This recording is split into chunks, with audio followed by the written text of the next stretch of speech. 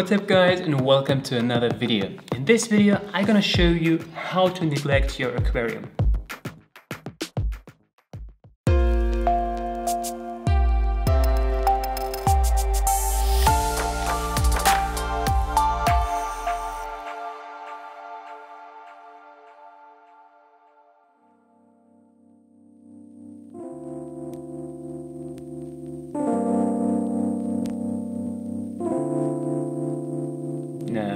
I'm joking guys.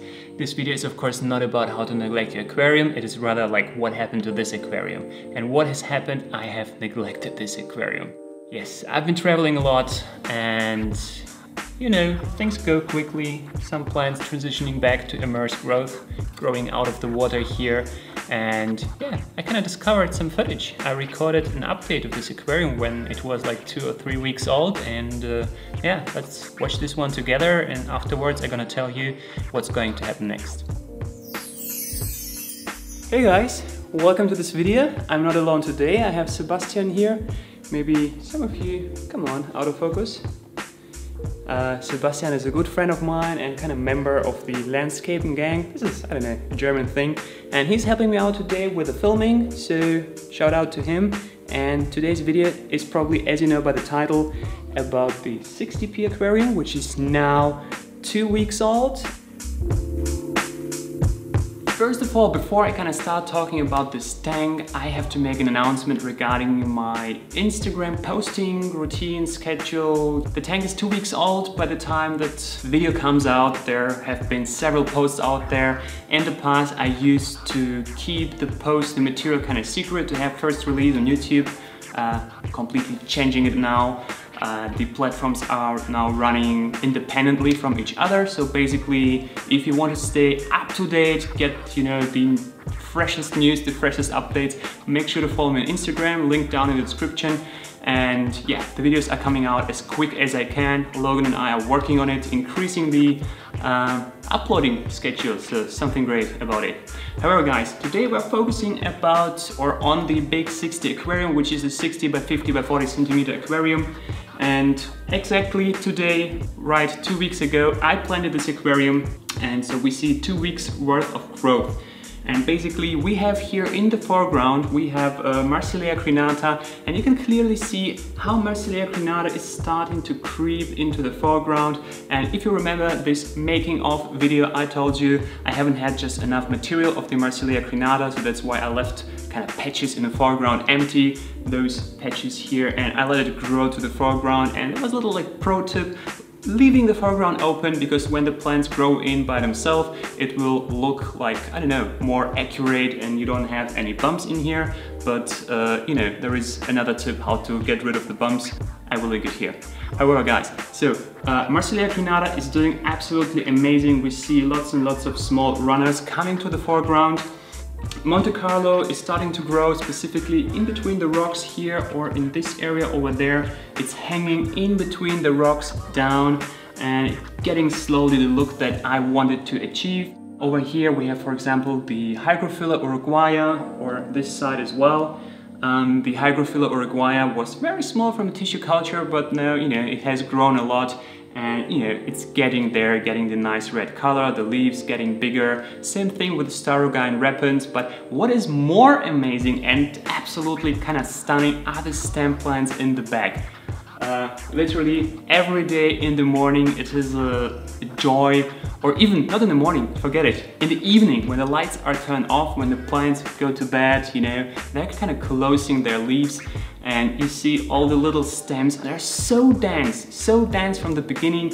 Guys if you remember from the making of video I spent hours and hours preparing all the tissue culture plants.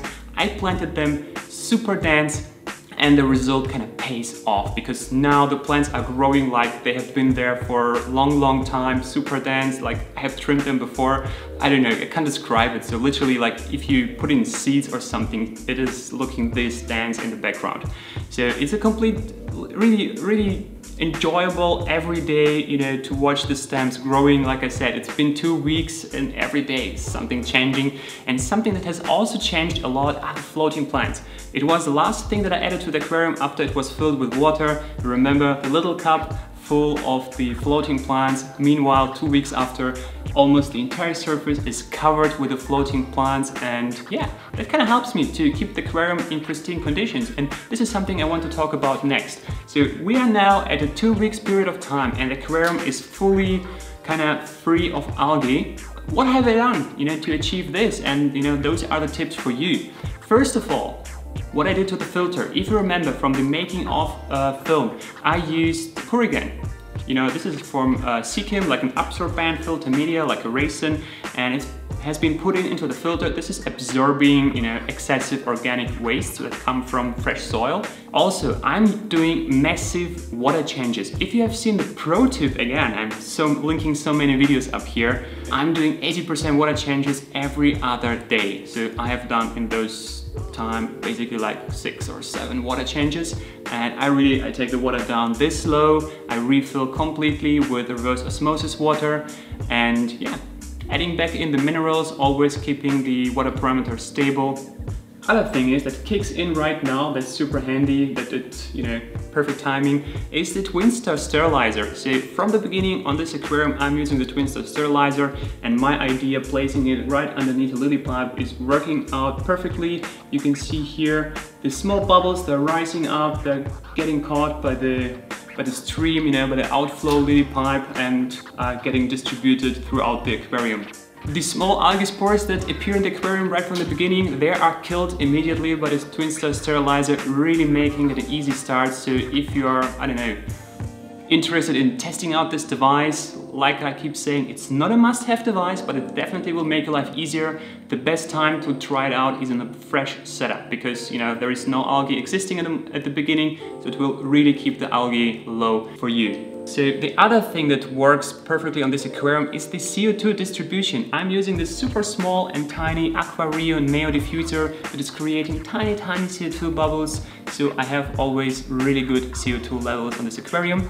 And the final kind of part to the whole aquarium setup is the light. The light, I have set up the ONF flat one to the automatic nature mode, how they call it.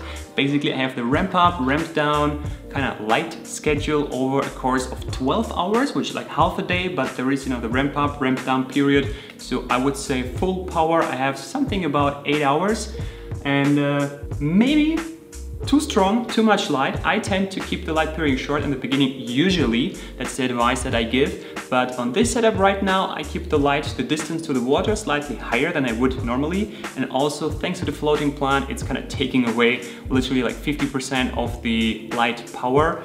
It's doing fine, it's doing great. When we wrap up this video, I'm gonna do another water change. And this week, I will go visit my wholesaler and go pick up some fish and shrimp for this tank.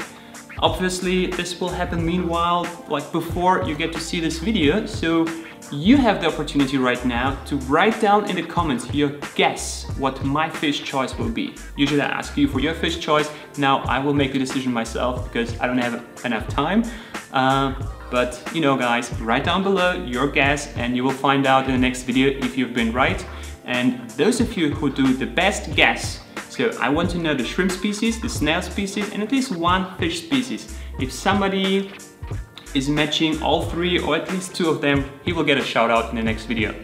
Guys, I hope you enjoyed this little I hope you enjoyed the travel back in time and seeing how the tank has developed. Meanwhile, it is two months and two weeks in and yeah, you've seen it before. It's overgrown and uh, kind of neglected. So I will take care of the tank in the future videos.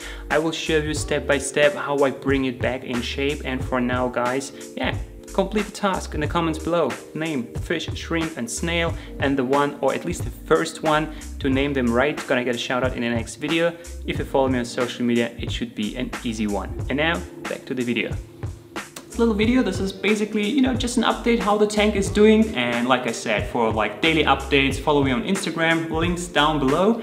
And yeah, if you like this video, leave me a thumbs up, subscribe to my channel, hit that notification bell, or is it there? I don't know guys, you know it better than I do. Thank you for watching, gonna see you in the next one.